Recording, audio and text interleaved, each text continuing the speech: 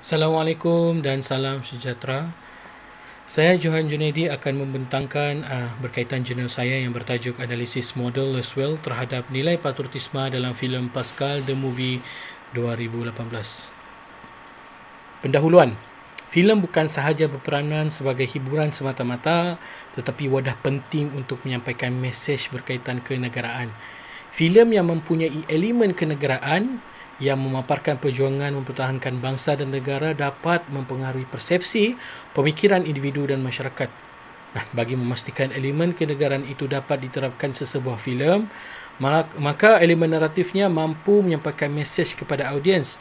Ini juga dinyatakan oleh Emil Daan pada tahun 2017 dalam penulisannya bahawa sebuah elemen naratif harus diolah dengan baik berbagi memastikan sebuah bahan naratif yang mampu menarik minat audiens objektif kajian menganalisis elemen naratif dan bahasa filem yang menyampaikan melalui pemaparan agregan filem Pascal the Movie yang memperkuatkan mesej setia pada negara dalam konteks negara Malaysia.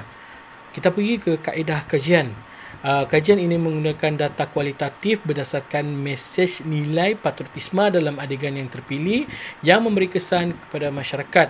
Menurut Sulaiman Samsuri pada tahun 2004, data kualitatif adalah merujuk kepada sebarang maklumat yang diperoleh daripada aktiviti penyelidikan.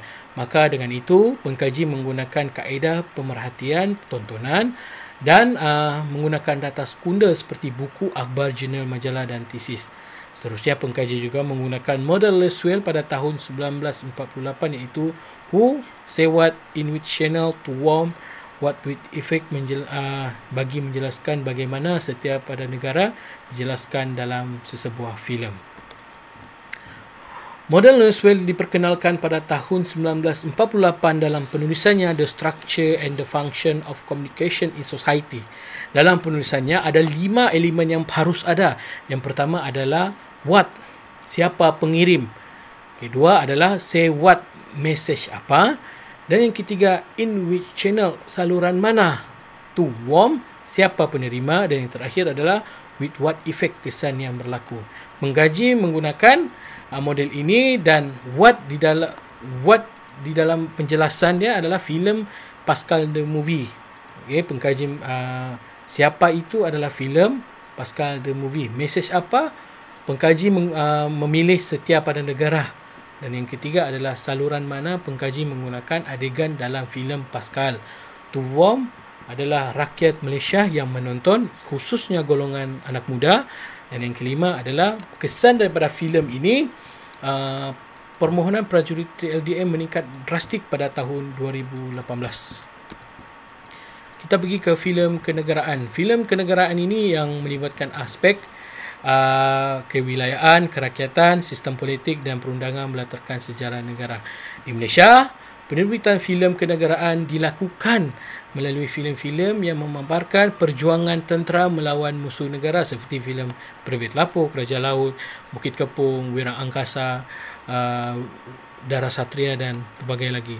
Uh, mutakhir ini, uh, kerajaan sudah memandang uh, berkaitan dengan filem kenegaraan ini dan mewujudkan dana kandungan digital uh, bagi menggelakkan produser untuk menerbitkan filem kenegaraan dan uh, baru-baru ini Finas juga telah memberikan takrifan baru kepada filem kenegaraan ini.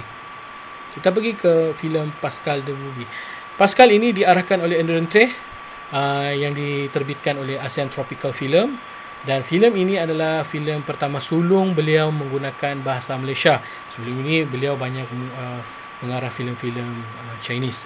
Okey, uh, filem ini memaparkan Pascal uh, dalam operasi Fajar 8 di Teluk Eden. Ini kisah nyata.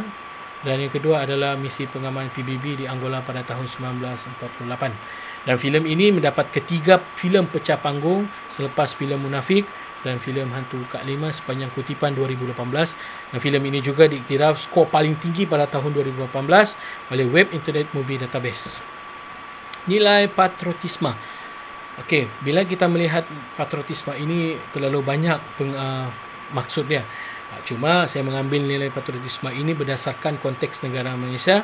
Itu terbagi kepada tujuh nilai murni yang perlu ada di dalam nilai patriotisme untuk negara Malaysia. Yang pertama adalah meningkatkan produktiviti demi negara, kebanggaan menjadi rakyat Malaysia, berdisiplin atau beradab baik demi benar baik negara, kefahaman terhadap sistem pentadbiran negara, perasaan kekitaan atau pemilikan terhadap negara, kesetiaan kepada negara, perasaan sayang kepada negara. Itu yang ditulis oleh Malaysia pada tahun 2018 dan Hamidi pada tahun 2017 dalam penulisannya. Dapatan kajian. Who uh, Who ini uh, da- dalam penulisan um, uh, Leswell, Wu dijelaskan ada empat elemen penting sebagai sumber utama iaitu uh, seorang pengirim harus uh, berkemahiran komunikasi yang tinggi iaitu communication skill. Yang kedua adalah harus memiliki pengetahuan yang tinggi iaitu knowledge. Dan yang ketiga adalah uh, pengirim harus bersikap jujur attitude. Dan yang keempat adalah uh, uh, pengirim itu tidak masuk mana-mana kelompok, tidak memilih, iaitu social and culture system. Siapa-siapa pun boleh mengirim, individu, sekumpulan atau organisasi maupun satu negara sebagai ni. Jadi pengkaji menggunakan filem Pascal the Movie sebagai pengirim. Uh, dalam poster uh, Pascal the Movie ini sudah dijelaskan bahawa Pascal dan simbol dapat simbolkan bahawa tunjang utama komunikator menyampaikan pesanan tentang sekumpulan anggota tentera laut di Raja Malaysia dari unit Pascal melakukan misi untuk mempertahankan negara dan uh, siapa itu Pascal juga mengajak masyarakat menyertai bidang ketenteraan khusus di LDM sebagai tanda setia untuk negara dengan berbakti kepada bangsa dan negara. Say what? Message apa? Dalam komunikasi, Leswell menjelaskan bahawa dalam menyampaikan pesanan perlu dihadkan isi, perlakuan dan struktur. Maka pengkaji memilih setia pada negara. Kenapa pengkaji menggunakan uh, memilih setia pada negara? Okey, berdasarkan kekuatan mesej yang dibawa oleh komunikator dengan mengangkat tema patriotisme berlatarkan ketenteraan. Penyertaan individu sebagai TLDM melambangkan tanda kesetiaan kepada negara dan mencurahkan bakti sepenuhnya untuk mempertahankan bangsa dan negara. Ini juga dinyatakan oleh Firdaus Aliuddin. Berdasarkan tajuk dan garapan cerita, filem ini sangat jelas mengajar generasi muda bercita-cita yang menjadi seorang tentara perlu diteruskan. Dan Cogan kata TLDM sedia berkorban untuk negara meningkatkan lagi semangat patriotisme dalam kalangan generasi baru berpandukan nilai patriotisme konteks negara Malaysia. Medium or channel. Okey, uh, dalam medium dan channel ada lima adegan yang uh, yang dikenal pasti oleh pengkaji. Uh, menurut uh, Crystal, channel atau medium yang dimasukkan oleh uh, Leswell ini uh, merujuk kepada alat atau bahan yang digunakan dalam menyampaikan mesej komunikator sama ada bersemuka mahupun alam. Jadi uh, adik uh, uh, pengkaji uh, uh, mendapati ada lima adegan yang mampu memaparkan uh, kesan mesej setiap pada negara. Itu adegan yang pertama Arman ni uh, pada durasi 22 30 hingga 40 minit. Uh, dalam adegan ini Arman uh, melihat uh, baju dan baju ibunya yang tengah berdarah. Ha, jadi uh, Arman uh, tersepit di antara kedua-duanya memilih untuk berhenti kerja ataupun memilih menjaga ibunya. Dan adegan ini adalah kisah nyata daripada keluarga Allahyarham Lieutenant Kadir, uh, Komander uh, Fazir bin Talib yang mana anaknya ingin menjejak ayahnya. Ayahnya meninggal dunia dan anaknya ingin menjejaki. Adegan ini juga memiliki perasaan seorang anggota yang sering dalam berada dilema antara memilih tanggungjawab terhadap keluarga dan pengorbanan kepada negara. Jadi adegan ini sangat pentinglah dalam dipaparkan bagaimana melihat uh, setianya pada negara. Yang kedua adalah uh, adegan yang kedua ketika fizikal latihan di lapangan. Itu uh, Lieutenant Mazdan uh, bertanya kenapa kau ada kat sini dan Arman menjawab sedia berkorban untuk negara tuan dan uh, Lieutenant uh, Commander Mazdan berkata kau tak payah nak ajar aku uh, cuban kata TLDM kau jawab betul-betul kenapa kau ada kat sini dan Arman pun uh, terpaksa menjawab saya nak tahu bapa saya mati untuk apa tuan. Okey, dalam adegan ini uh, menyamp- uh, dalam adegan ini iaitu menyampaikan mesej agar setiap orang menjaga adab dan disiplin. Setiap peraturan yang diwujudkan mempunyai asbab dan simbol kesetiaan pada peraturan yang ditetapkan. Ada adegan ini memaparkan bagaimana seseorang harus uh, mengikut peraturan, tanda kesetiaan harus mengikut peraturan kerana setiap peraturan ada sebab dan simbol dia. Ha. Lepas tu adegan ini juga memaparkan bahawa ibu bapa pekerjaan ibu bapa diikuti jejak anaknya kerana sifat ingin tahu di mana perbincangan Arman bersama Lieutenant Adnan Maznan uh, adegan ini juga uh, sangat penting ya uh, kerana uh, mereka itu memilih antara dua sama ada pekerjaan ataupun keluarga. Okey, dalam dialog dia adalah lepas Joshua saya ingat saya akan terima email macam ni. Ini sequence kepada uh, adegan satu. Eh, dan, tapi saya tak terima pun. So kenapa sekarang? Arman menjawab untuk keluarga tuan yang mana yang tinggal. Lieutenant Amnan pun mengatakan habis selama ni awak fikir awak buat semua ni untuk apa? Jadi adegan ini sangat jelas bahawa sebagai seorang uh, anggota tentera uh, bingung memilih yang mana satu pekerjaan ataupun keluarga. Dan dalam konteks ketenteraan, setiap tenaga yang diberikan untuk mempertahankan negara dari musuh sama ada uh, sama ada uh, musuh dari musuh dari musuh sama seperti mempertahankan keluarga sendiri. Okey, tanda kesetiaan pada negara juga sama seperti kesetiaan uh, seperti setia kepada keluarga dengan berbakti dan menjaga imej nama baik negara daripada tercalar. Dan seterusnya adegan 4 uh, ketika pergaduhan Arman dan Jeb di atas pelantar minyak.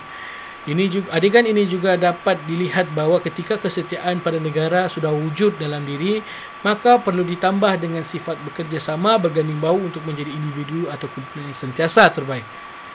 Setiap organisasi pasti akan ada ketua. Untuk menjadi uh, untuk menjadi lebih hebat, setiap organisasi untuk menjadi hebat perlu menyelesaikan masalah uh, bersama-sama untuk memerlukan buah fikiran yang baik untuk diselesaikan bukan menunjukkan sifat negatif. Ha, ini dalam adegan 4. Dalam adegan 5, adegan yang terakhir adalah ketika Arman berjumpa Panglima Kamaruzaman memetik kata-kata ayahnya uh, perhikmatannya umpama fardu kifayah dan rasa berdosa jika tidak melakukan. Adegan ini uh, menceritakan tentang kesetiaan seorang pada negara sehingga wajib menerima tugas yang diberi dan wajib bertanggungjawab dalam tugas yang diberikan walaupun perlu sanggup mengorbankan nyawa sendiri. Ah, memetik kata-kata uh, Panglima Kamaruzaman, memang tugas ini sangat berisiko tapi mengorbankan nyawa, nyawa mengorbankan banyak nyawa bukan sahaja berhikmat untuk negara tetapi uh, memberi peluang kepada keluarga untuk bersama. Eh, kepada siapa? Womb. Okey dalam uh, model Laswell womb itu ada tiga kategori yang perlu disampaikan iaitu demografi melihat uh, merangkumi umur jantina lokasi dan tahap pendapatan tingkah laku berkaitan dengan keperluan kehendak peribadi nilai budaya dan hobi dan ketiga adalah taraf. Okey uh, analisis audience ini memasar uh, mensasarkan mereka yang meminati filem dan menonton filem Pascal The Movie khususnya golongan muda tayangan filem ini dibuat di seluruh Malaysia dan negara lain seperti Singapura, Brunei, Turki dan China. Jadi analisis audiens uh, yang saya pilih adalah uh, yang meminati filem ini terutama golongan muda.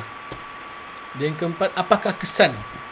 Okey, uh, dalam penulisan Rosmawati flash uh, flashback menyatakan bahawa uh, flashback menyatakan lebih menekankan aspek model ini lebih menekankan aspek kesan dan impak kepada masyarakat uh, iaitu audiens daripada penggunaan media masa berbanding model komunikasi yang lain. Jadi ada empat kesan yang dikenal pasti. Yang pertama adalah permohonan TLDM meningkat sebanyak 40% masa menghadiri uh, pasukan khas laut. Eh?